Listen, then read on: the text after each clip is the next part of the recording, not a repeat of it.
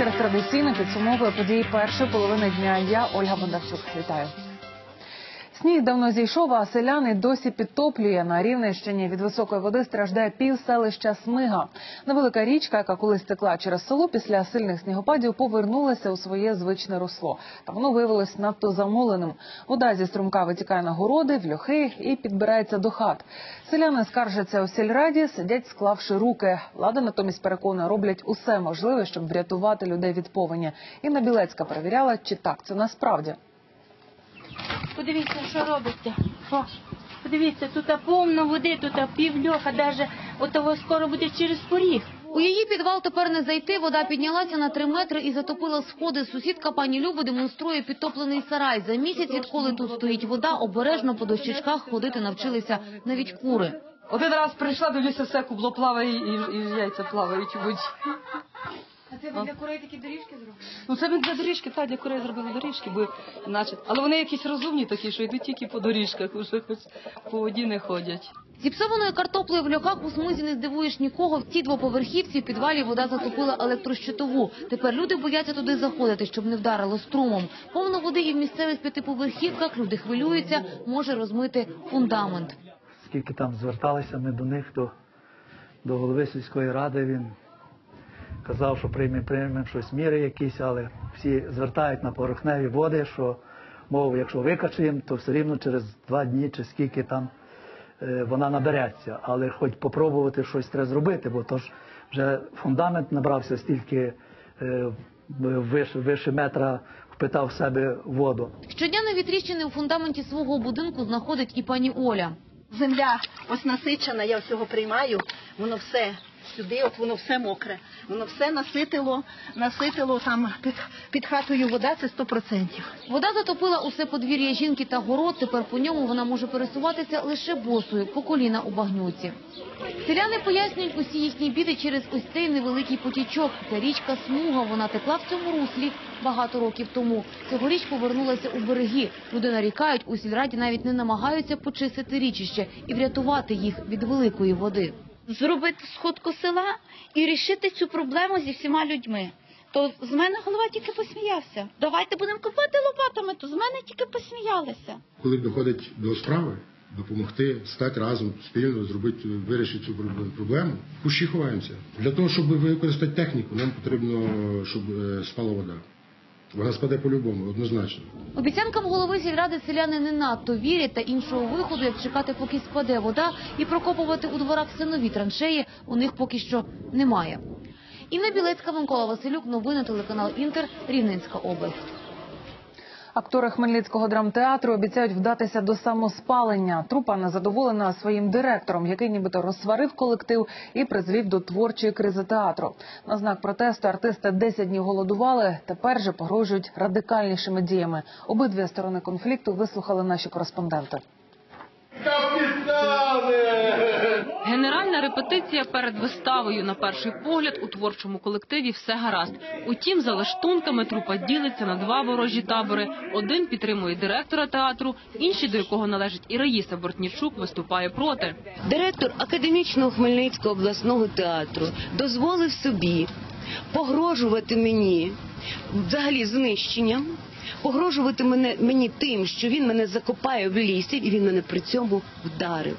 За фактом побиття актриси міліція відкрила кримінальне провадження. У відповідь директор її звільнив. Так само без роботи залишилися ще 70 працівників театру. Деякі актори добровільно покинули сцену на знак протесту. Шкода мені на сьогоднішній день, не, можу не сказати, за Леоніда Дису, який працював яка на виручку, став вистави, бо режисери ж розігнані, став вистави, в результаті помер царством небесним від тієї атмосфери, яка існує в театрі. Усі закиди на свою адресу директор театру відкидає. Каже, за час його керівництва справи в театрі пішли на лад. У глядацькій залі встановили нові крісла і відкрили малу сцену. Опонентів називає обманщиками. Правда за мною, бо це свідчать конкретні документи, звітність, статистика. На захист директора стали і молоді актори. Я б називала, що це конфлікт поколінь. Розумієте, в 65 років нашим колегам ще хочеться грати роль Офелії, але всьому свій час. Після того, як актори оголосили голодування, владнати конфлікт взялася місцева влада. Робоча група працює. Після 31 числа буде оприлюднення ця інформація. Та поки чиновники розбираються, Національна служба посередництва та примирення вже виявила низку порушень трудового законодавства директором театру від протизаконного звільнення людей до безпідставної ліквідації худради та профспілок. Біля 40 порушень зафіксовано е, відповідно до закону про охорону праці. Сьогодні директор театру е, не виконує вимог трудового законодавства. Свої висновки Нацслужба передасть правоохоронцям, а доведені до відчаю актори кажуть, якщо найближчим часом в театрі нічого не зміниться, готові навіть до акту самоспалення. Ольга Чепіль, Ольга Сергієва, Олександр Шурін. Новини телеканал Інтер. Хмельницький. Кіно комунальне не означає збиткове. Так вирішили у Київраді і проголосували за реорганізацію муніципальної кіноіндустрії. Вісім районних кінотеатрів недовзі об'єднають у єдине комунальне господарство. А до осені пообіцяли усі їх привести до ладу, підремонтувати і обновити техніку. Чи справді для занедбаних приміщень настане світле кіномайбутнє? Ось репортаж.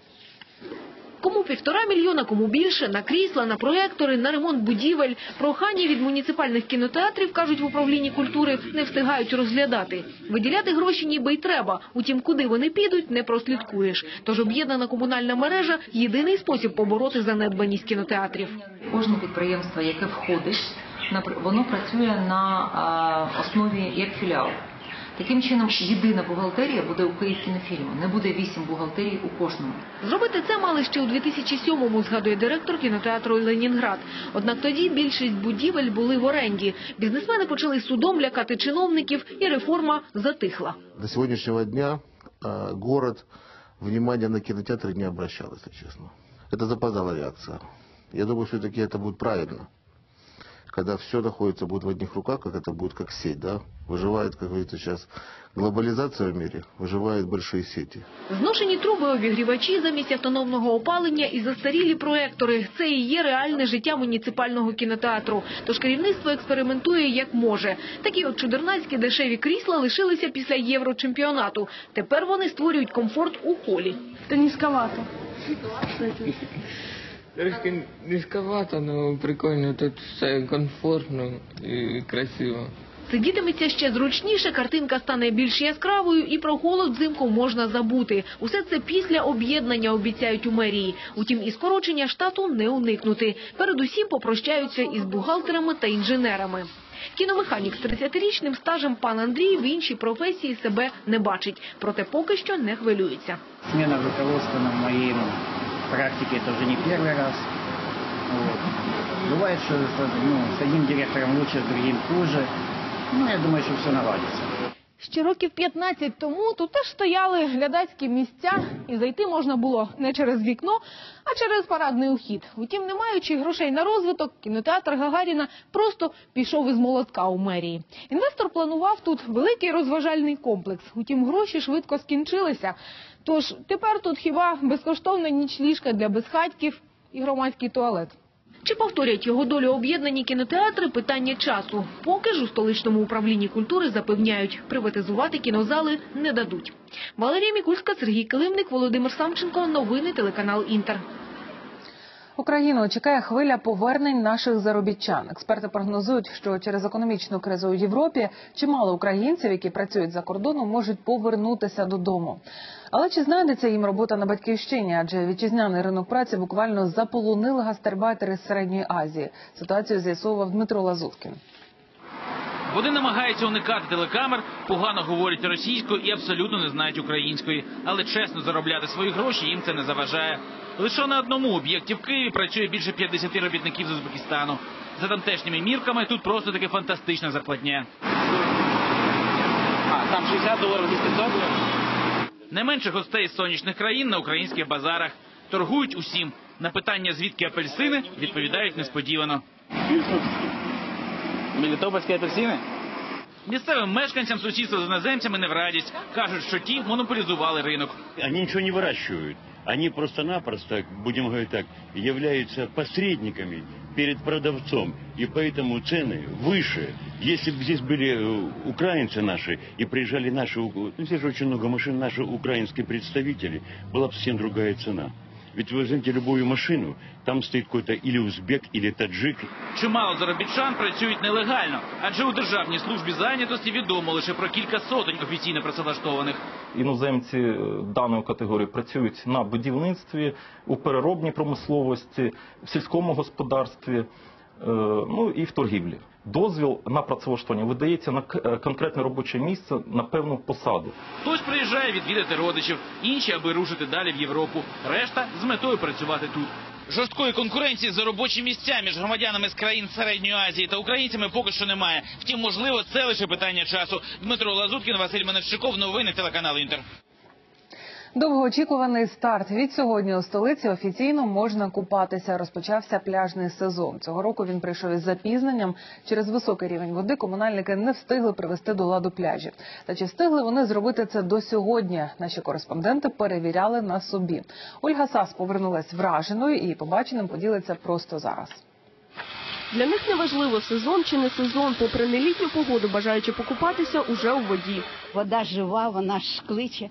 Я, знаєте, як взимку кожен день рахувала, щоб вона зменшувалася, щоб піти плавати. Офіційного дозволу на купання не чекають, вірять на слово. Ну, ну от жіночка говорила, що тут чистенький пляж, дуже прибирає і гарно. Вроді б люди купаються. Початок купального сезону цьогоріч затримали на два тижні, та комунальники все одно до старту не встигли. Головної умови роботи пляжів санітарних паспортів немає і досі.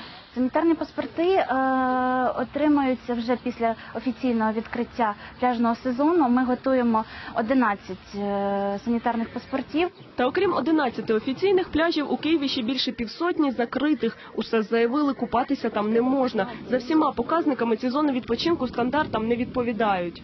Потрапивши на такий пляж, відпочивати точно не хочеться. Єдине бажання, яке одразу виникає, це терміново влаштувати суботник. На кожному кроці тут стандартний набір відпочивальника: одноразові тарілки, пластикові пляшки та, звісно ж, бите скло. Повна антисанітарія панує на цих, здавалось би, мальовничих ділянках. Скарби таких пляжів вражають різноманітністю. Окрім відпочивальників, ці території люблять і інші мешканці. Щурі, їхні свіжі нірки ми знайшли по сусідству із людьми. Та їх така компанія не бентежить, і пляж повністю влаштовує. У нас самое чистое озеро. Зачем же мне куда-то идти, если у нас, смотрите, какая красота. Только чтобы его, конечно, почистили нам и песочек завезли. И мы бы благодарны очень. Усе скажуть, воду на цих пляжах не перевіряють, вони ж бо закриті, тож покупавшись, можна посхоплювати низку хвороб. Якщо там буде збутник якийсь виявлений, то людина може е, ну, підхопити якусь хворобу. Вірусний гепатит А, наприклад, якщо вас цікавить конкретно, да, так, якісь сальмонельози можуть бути. Так. Але це треба підтверджувати дослідження лабораторно. Щоправда, заборонити людям купатися там не можуть, обіцяють тільки попереджати. Та поки що жодної таблички із таким застереженням ми не побачили. Ольга Сас, Ігор Антонюк, Василь Миновщиков, новини телеканал Інтер. Тропічний шторм Барбара сформувався у Тихому океані та поблизу узбережжя Мексики перетворився на ураган. Загинули вже двоє людей. Його наближення відчули у штаті Охака. Там сильно дощить, а від поривів вітру гнуться дерева. Заняття у школах скасували, а суднам заборонили виходити в море. Хвилі вже сягають кількох метрів заввишки. В регіоні оголосили штормове попередження і порадили мешканцям залишатися вдома. Люди загинули через власну легковажність. Попри всі заборони і закритий пляж, вийшли на берег і вирушили в море кататися на дошках для серфінгу. Шторм був сильний і вони потонули. Треба пам'ятати, що природа іноді сильніша за нас, і бути обережними. Торнадо паралізував життя на півночі Італії. Смерч виник просто на очах у місцевих мешканців. Ті навіть встигли зняти його на мобільні телефони. Воронка неспішно почала рухатися, руйнуючи все на своєму шляху. Ущен завантажену автівку перевернула, немов дитячу іграшку. Стихія зруйнувала кілька будинків і з корінням повиривала столітні дерева. Місцеві схвильовані кажуть, погода змінюється катастрофічно, і це вже другий торнадо за цей місяць. Це тривало хвилин з п'ять. Щойно ми побачили воронку, настільки перелякалися, що просто вистрибнули з офісу. Торнадо величезний, а звук такий, наче гігантський літак пронісся над нами. Гаряча ніч у Санкт-Петербурзі. Пожежники кілька годин гасили вогонь у технологічному інституті. Будівля зайнялася, коли заняття вже скінчилися, і всередині нікого не було. Полум'я швидко охопило останній п'ятий поверх і горище. Через вогонь в інституті обвалився дах загальною площею 600 квадратних метрів. Винуватцями пожежі могли стати ремонтники. Вони саме латали дах будівлі, який вже майже два століття. Два роки позбавлення волі загрожують дуету італійських дизайнерів Дольче Габана. Їх звинувачують в ухилянні від податків. Сума чимала близько мільярда євро. Слідство з'ясувало, що Домініко Дольче і Стефано Габана використали підставну фірму в Люксембурзі, щоб заощадити гроші, адже податок на прибуток в Італії один із найвищих у світі. Самі майстри звинувачення відкидають. Всесвітньо відомий бренд вже не вперше має проблеми з законом. 2011-го Дольче Габану звинувачили у шахрайстві та згодом виправдали. Понтифік не перестає дивувати. Папа Римський порушив іще одну ватиканську традицію. Цього разу він проповідував під дощем, не дозволивши помічникам навіть розкрити парасольку.